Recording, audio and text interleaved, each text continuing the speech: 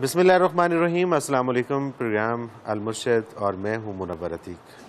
नाजरीन मोहतरम, एक बार फिर दारुल इरफान मुनारा से आपकी खिदमत में हाजिर हैं, जहाँ पर सालाना इज्तम के हवाले से सोबत शेख का सेशन जारी है और इसी सेशन को हमने अपने प्रोग्राम का हिस्सा बनाया है। इस वक्त यहाँ पर बहुत सारे सालकिन मौजूद हैं जो हज़रत साहब से सवाल करना चाहते हैं। उन्होंने अपने सवाल मेरे हवाले कर दिए हैं। और शेख सिलसिला जनाब हज़रत अमीर मोहम्मद अकरम अवान साहब भी हमारे दरमियान मौजूद हैं। बहुत शुक्रिया हज़रत साहब, आपने वक्त दिया और आपने इजाज़त दी कि हम इस सेशन को अपने प्रोग्राम का हिस्सा बनाएँ। बहुत सारे सवाल हैं मेरे पास आज भी और सिलसिला सवाल का शुरू करते हैं। अहमद नवाज़ ऑस्ट्रेलिया से लिखते हैं कि बेसत नबवी से पहले नबी करीम गार हिरा तशरीफ़ ले जाते थे। लेकिन उस वक्त कुरान पाक नाजल नहीं हुआ था तो फिर आप कौन सी इबादत करते थे?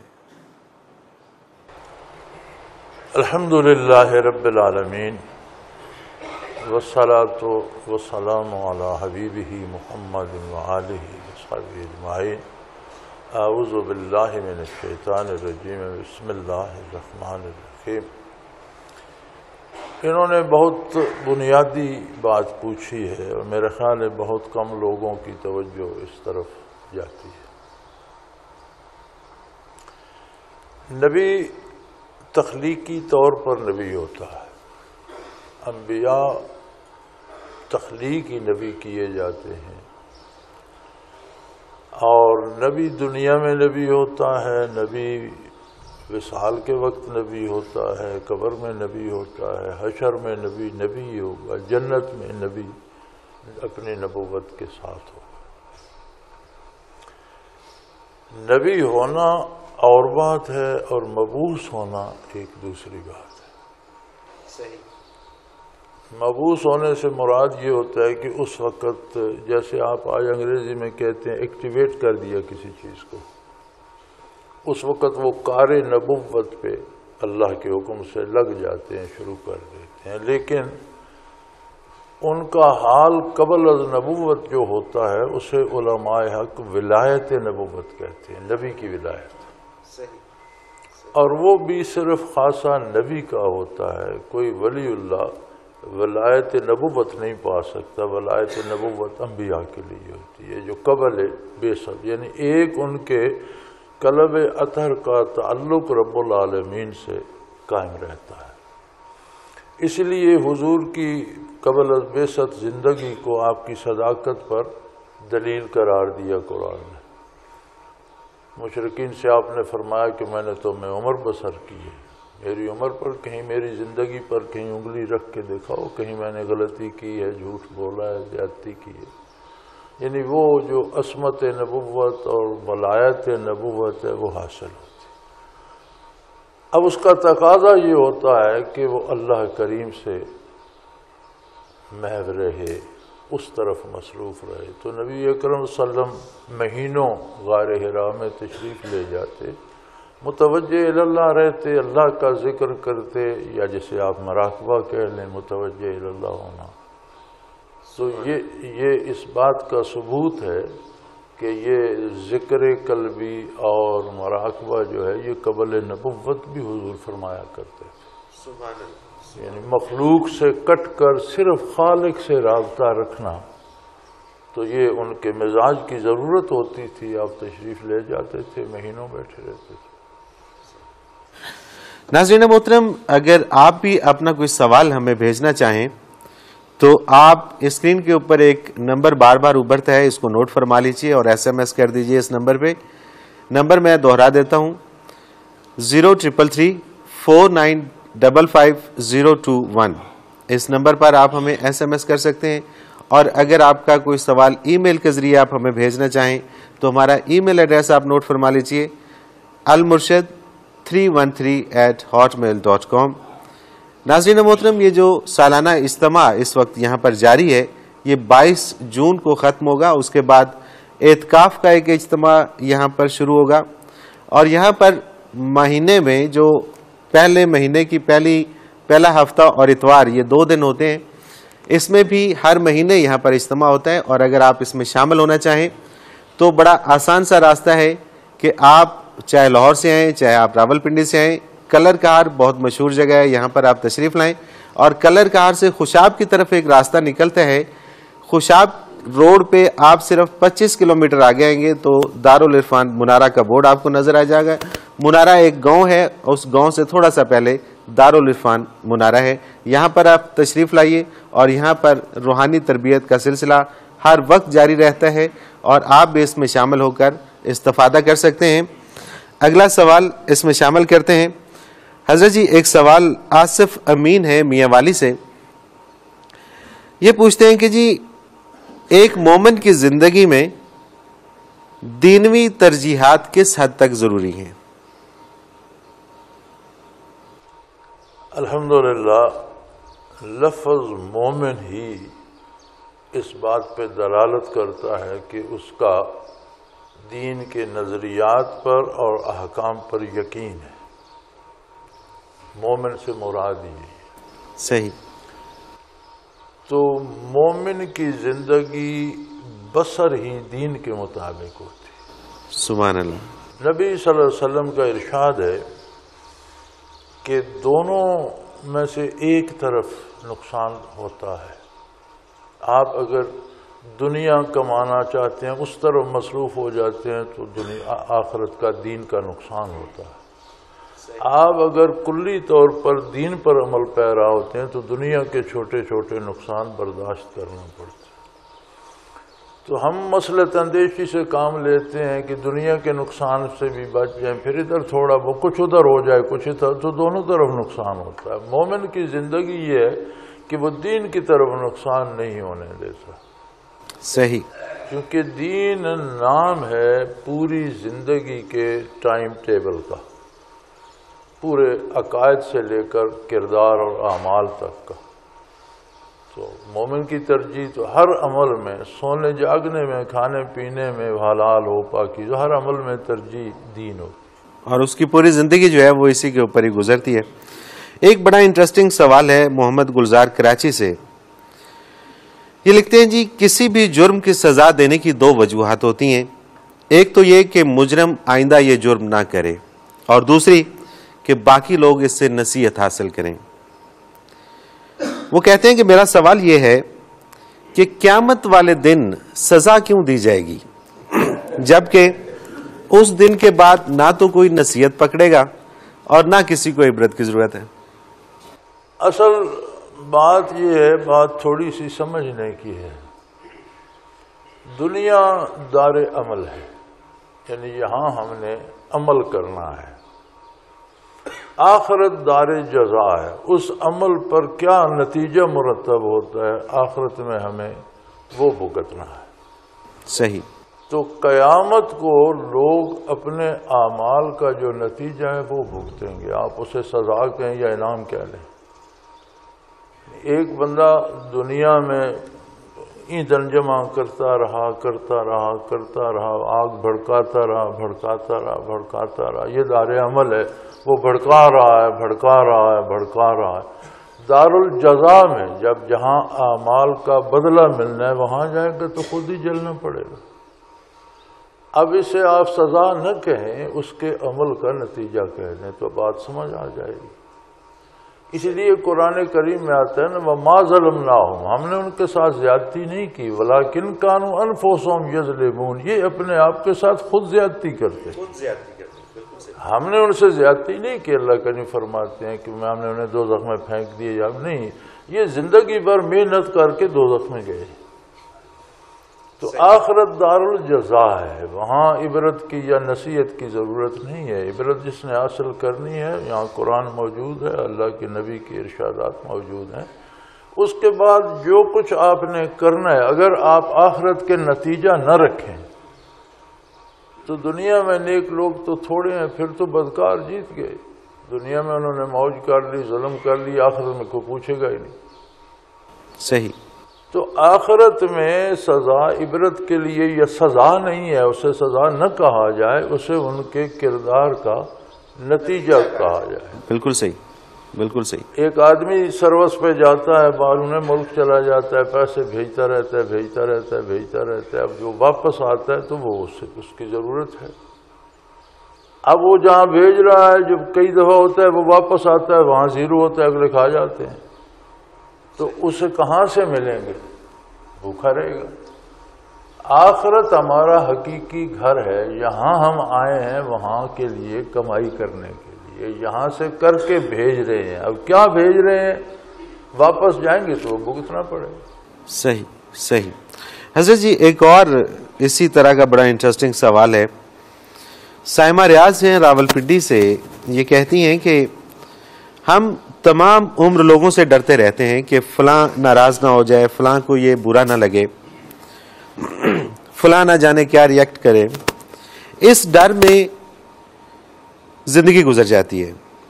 ऐसे में दिल चाहता है कि कोई तो हो जो हमें हर हाल में कबूल करे। हम जैसे भी हैं, जिस तरह के भी हैं, वो हमसे नाराज़ ना हो।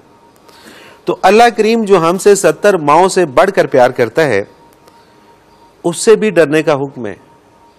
वो खुद फरमाता है कि डरो अल्लाह से। गोया अल्लाह ताला से भी वही डर जो उसके बंदों से है। बड़ी मज़ेदार बात है। बात यह है कि आदमी अपने किरदार पे बड़ी कड़ी नज़र रखता है, गुफ्तार पे भी, अमल पे भी। और वो चाहता है कि कहीं कोई भी इस पे नाराज़ ना हो खफा ना हो किसी की दिल आजारी ना हो। होता ये है कि इसके बावजूद सारी ज़िंदगी लोग नाराज़ ही रहते यानी आप कभी राज़ी नहीं रख सकते लोग। अगर ये जो हमारी कोशिश है कि कोई नाराज़ ना हो इसको हम अल्लाह की तरफ़ कर लें। अपने किरदार पर यह नज़र रखें कि कहीं अल्लाह की नाफरमानी ना हो अल्लाह मेरे किरदार से खुश हो तो फिर ये डर निकल जाता है कि कोई क्या कहता है। जो जिसका जी चाहता है कहता रहे। सही। बुजुर्गान दीन के हालात पढ़े हैं मैंने। एक बुज़ुर्ग बहुत बड़े वक्त के अपने शेख थे सूफी थे। अल्लाह की करोड़ों रहम थे उन पर। तो उन्होंने कहीं जलसे में तकरीर की। तकरीर के बाद आकर अहबाब में बैठे तो किसी ने आकर कहा तफरकाबाजी तो हर जगह है। वो जी दूसरे फिरके तबके के लोग कह रहे हैं कि ये काफिर है। आपके बारे कह रहे उन्होंने इतमान से सुना। उन्होंने कहा अशद अल्लाह अशद मोहम्मद रसूल अब तो मैं मुसलमान हूँ। बात तो जब अल्लाह से रबता हो जाए और ये डर क्योंकि उर्दू का दामन तंग है। सही। अरबी ने लफज तकवा इस्तेमाल किया है वत्तकुल्ला उसका तर्जमा डर कर दिया गया डर कई किस्म का होता है। दुश्मन से हम डरते हैं नुकसान पहुँचाने वाले से डाकू से डरते हैं मुजी जानवर से डरते हैं।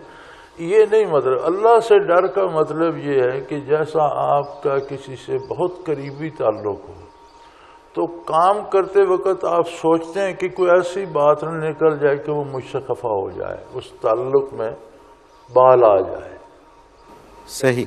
इस डर को तकवा कहते सही। तो अल्लाह से डरने का जो है कि अल्लाह से आपकी रिलेशन ऐसी हो आपका ताल्लुक रबता अल्लाह करीम से ऐसा हो कि बात करते वक्त काम करते वक्त फ़ौरन घंटी बजे कि कोई ऐसा लफज मुँह से न निकले कि अल्लाह खफा हो जाए। ऐसा काम न करो कि अल्लाह ये डर मुराद है। वो डर। जो अमूमी हमें लोगों से होता है वो मुराद नहीं है। वो नहीं है। बहुत फ़र्क है। बहुत फ़र्क। है। हज़रत जी सवालत और भी बहुत सारे हैं। नाजरीन मोहतरम एक मुख्तसर सा कमर्शियल ब्रेक उसके बाद हाजिर होते हैं हमारे साथ रहिएगा।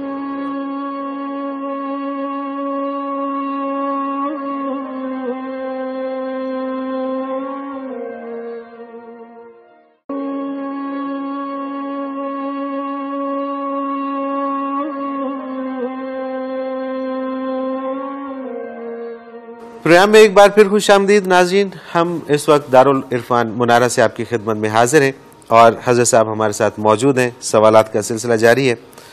हज़रत जी, एक और बड़ा अहम सवाल के ये हैं, वसीम वसीम नज़ीर हैं फैसलाबाद से।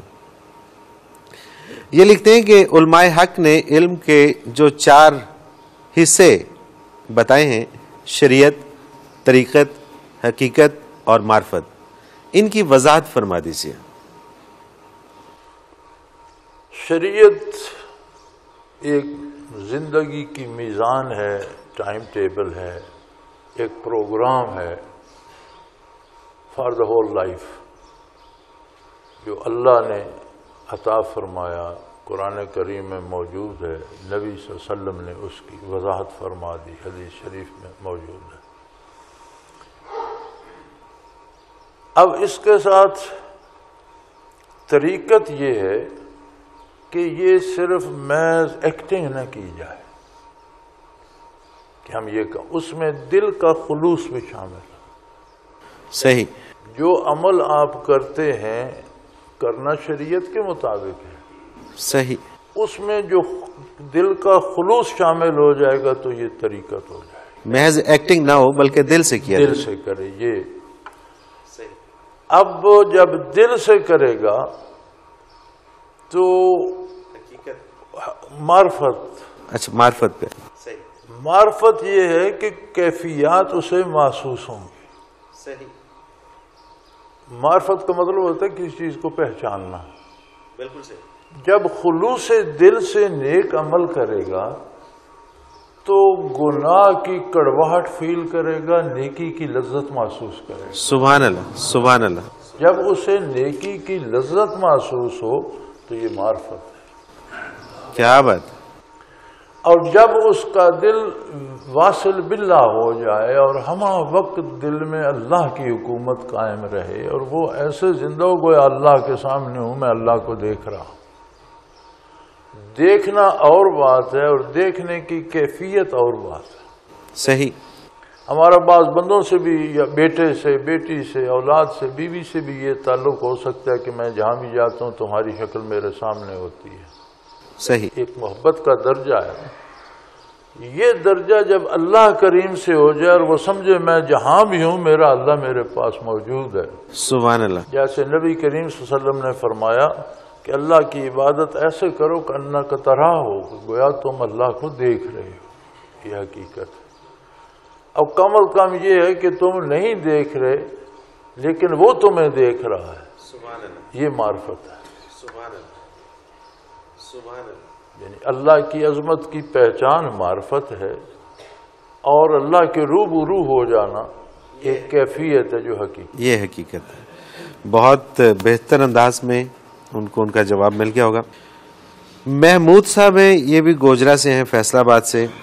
ये लिखते हैं कि जी तजलियात बारी ताला दिल में समाती हैं या कि अल्लाह करीम ज़ाती एतबार से दिल में समाता है।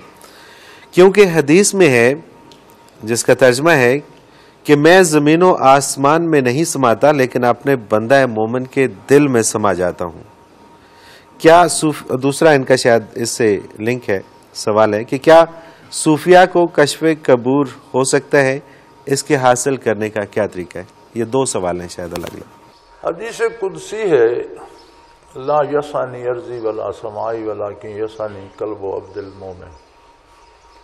ज़मीनों आसमान मुझे नहीं समा सकते, लेकिन बंदे मोमिन का दिल समा सकता है। अब इसका मतलब जो पहले हम कह चुके मार्फत हकीकत की बात जो गुजर चुकी अभी अभी ये इदराक हकीकत जब होता है तो हर शख्स को अपनी हैसियत के मुताबिक होता है। सही। हर एक की अपनी नज़र है। मैं आपको देख रहा हूँ मुझे आपका लिबास उड़िया नज़र आ रहा है लेकिन शायद किसी और को मुझसे ज़्यादा वाजे नज़र आ रहा हो। शायद कोई ऐसे भी बैठे हो जिन्हें मुझसे कम एक ह्यूला सा खड़ा नज़र आ रहा हो। अपनी अपनी निगाह है ना। अपने अपने दिल की कैफियत और दिल की वसत और नूरानियत है उसके मुताबिक उसमें तजलियात बारी समाती। सुबह हर दिल में एक सी नहीं होती अपना अपना दिल है उसकी इस्तेदाद है उसका खुशू खजू और खलूस है। उसके मुताबिक उसे जो लफ्ज़ हकीकत गुजरा कि अपनी हैसियत के मुताबिक उसे हकीकता अल्लाह की अजमत की पहचान हो जाए सुबह इससे इंसान के अलावा सारी मखलूक आ रही है उन्हें ये बाकी किसी फरिश्तों तक को ये ज़रूरत दी नहीं गई कि वो मार्फत की तरफ़ नज़र उठाएँ। ये सिर्फ़ इंसान की खसूसियत। सुबह तो इसका ये मतलब नहीं कि अल्लाह करीम सारे के सारे उसके दिल में से माँ गए वो तो अल्लाह तो मादूद नहीं है ला मादूद शान है उसकी।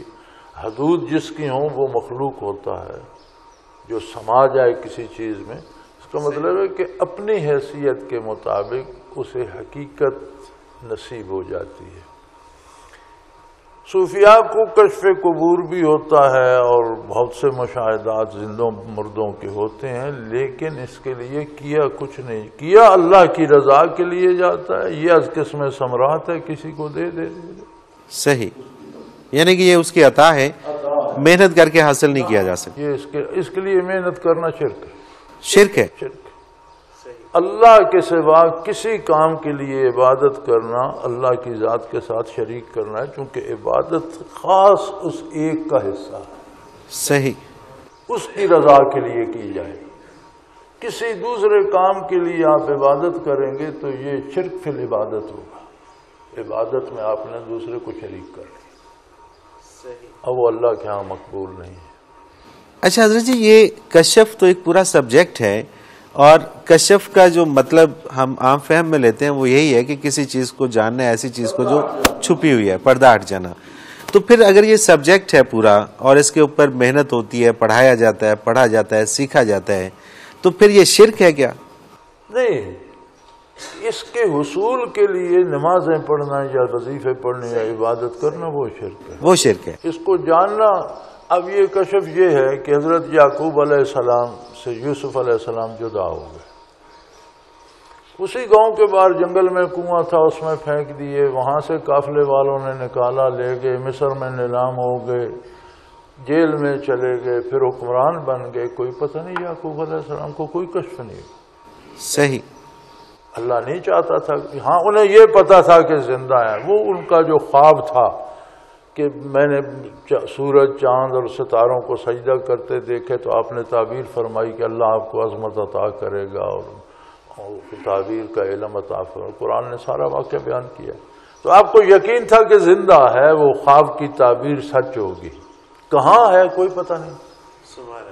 अब जब उनके भाइयों की मुलाकात यूसुफ सलाम से हो गई और सारा वाक्य बयान हो गया और भाइयों ने माजरत कर ली तो यूसुफ सलाम ने फरमाया कि अब जाओ।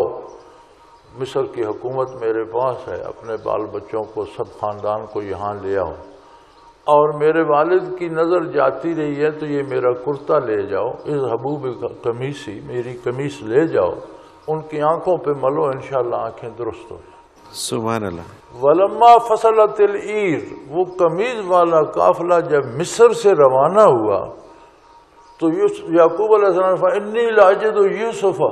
यार, आज मुझे यूसुफ की खुशबू आ रही है। यूसुफ तो तो वो मंजूम किया मौलवी रूमी रहमत ने, कसे पुरसीद गुम करदा फर्जन के रोशन गुहर पीरे खिरदमंद वो जिन बुज़ुर्गों का बेटा गुम हो गया था, उनसे किसी ने सवाल किया कि आप दाना तर और अल्लाह के बरगजीदा बंदे हैं मिसरश बुए पैरहन शमीदी मिस्र से कुर्ते की खुशबू आपने सूंघ ली चरादर चाहे कना नशन दी थी आपके गाँव के कुएँ में पड़ा रहा वहाँ क्यों नहीं देखा? अल्लाह तो उन्होंने फरमाया बेगुफ्ता वाले माँ बर के जहान हमारा हाल ऐसे होता है जैसे आसमान में बिजली चमक जाती है तो सारी ज़मीन रोशन हो जाती दमे पैदा दमे दीगर निहानस कभी हर चीज़ सामने आ जाती है कभी कुछ भी दिखाई सुबह अल्लाह सुबह अल्लाह गहे बर तार में आला नशीन कभी तो हम अर्श इलाई की सैर कर रहे होते। गहे पर पुश्त पाए खुद न बीने कभी अपने पाँव की पुश्त भी नज़र नहीं आती। अल्लाह तो कशफ से ये है कि जो चीज़ वो दिखाना चाहता है जब दिखाना चाहता है दिखा देता है। जिस चीज़ को नहीं दिखाना चाहता वो नहीं दिखा ये सरीहन उसकी अता है वो जिस पे अता कर दे और जिस पे ये भेद खोल दे। हज़रत जी कुछ हमारे दोस्त हैं जो सवालात करना चाहते हैं। हजूर इजतहाद के बारे में आप क्या कहेंगे? इजतहाद के बारे में। अभी बहुत सारी ऐसी चीज़ें हैं जो कि देखने में आया कि लोगों को मुकम्मल तौर पे उनमें तफाक नहीं और वो उनमें कन्फ्यूज़न का शिकार हैं।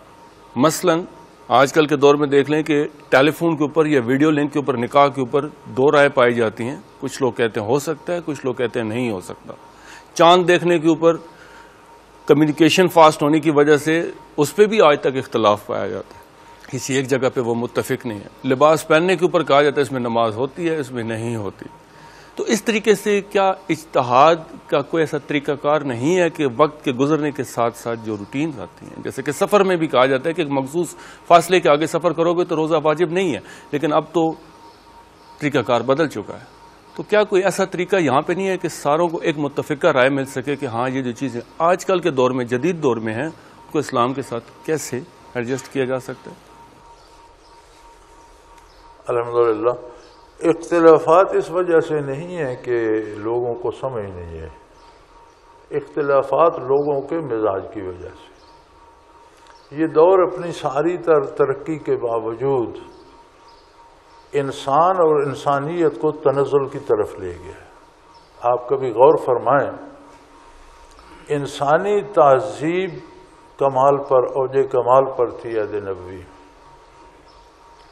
आज मशीनी दौर में और बरकी दौर में और मवासलाती निज़ाम के इस दौर में आज लोगों की तहजीब वो हो गई है जो जानवरों की है। यानी हर चीज़ ने तरक्की की तहजीब इंसानी तनजुल में चली गई। आज आपका सारा वेस्ट बरना क्यों रहता है? दलील क्या है? कहते हैं, जानवर कोई कपड़े पहनते हैं, जैसे पैदा होते हैं वैसे रहते हैं। तो इसका मतलब है तहजीब जदीद जो है, इंसानियत से जितनी वो अल्लाह के रसूल से, दीन से दूर हुई, इतनी इंसानियत से भी दूर चली जाती तो आज की तहजीब काबिल फ़ख्र नहीं है। वसाइल काबिल फ़ख्र हैं। लेकिन जिसे आप तहजीब कहते हैं, आप देखें, हमारे ज़माने में हम जवान थे तब भी। ये गाने बजाने वाले लोग इन्हें कंजर और कंजरियाँ कहते थे। अब अच्छे शरीफ घरानों की बच्चियाँ टीवी पे डांस कर रही हैं और वो स्टार हो गई हैं। यानी कितनी तहजीब इंसानी बदली के कंजर स्टार हो गए। तो तहजीब तनजल में चली गई ना, बुराई अच्छाई नज़र आने लग गई। ये एक आम मिसाल है, मैं किसी पे तंज नहीं करता, अल्लाह माफ़ फरमाए, मैं मेंबर रसूल पे बैठा हूँ, मैं एक आम मिसाल समझाना चाह रहा अब रही बात इजतहाद की। तो इतिहाद का दरवाज़ा किसी ने बंद नहीं किया। सवाल ये है कि कोई ऐसा मसला लायन हो जो मुतकदमीन मुजतहदीन के इर्शादात में न मिलता हो तो कोई पंद्रा इस पाए का हो जो कुरान कुरान की हर आयत का नजूल, उसका मफहूम, उसकी वो तफसीर जो नबी करीम वसल्लम ने फरमाई, उसका वो माना जिस पर साहबा ने अमल किया। हदीस हदीस शरीफ की रिवायात, हदीस की सेहत सुकम इन सब चीज़ों से आगाह हो, फ़िका की पूरी तालीम रखता हो, और फिर कोई ऐसा मसला आए कि उसका हल पहले नहीं है तो वो उसकी पहले ऐद में कोई मिसाल ढूंढता है कि उससे मिलता जुलता काम फलां ऐद में हुआ था, उसका उलमा ने यह रास्ता निकाला था, ये उससे मिलता जुलता है लिहाजा इसका ये रास्ता बनता है। इसे इजतहाद कहते उससे किसी ने मना नहीं किया। लेकिन सवाल यह है कि मुजतहिद इजतहाद करे, हर बंदा राय देना शुरू हो जाए तो वो तो सही नहीं। और लोगों में इख्तलाफ बेटा लोगों की नाअहली की वजह से है। इंसानियत तनजुल में चली गई है। तो आपने जानवरों में कभी इत्तेफाक देखा है? कुत्ता कुत्ते से लड़ता है बैल बैल से लड़ता है हिरन हिरन से, मैं तो जब देखता हूँ वाइल्ड लाइफ तो लड़ाई हो रही होती है। तो इंसान जब तहजीब जानवरों से हासिल करेंगे तो उसके साथ वही आएगी कि हर बंदा एक दूसरे से दस्तों का रेबा होगा आज के इस प्रोग्राम का वक्त अपने अख्ताम को पहुँचा। आपके साथ बात करते हुए वक्त का एहसास ही नहीं होता। नाजरीन मोहतरम इन ताला नेक्स्ट प्रोग्राम भी आपकी खिदमत में यही दारुल इरफान मुनारा से पेश करेंगे। तब तक के लिए मुनवरती को इजाज़त। अल्लाह हाफिज़।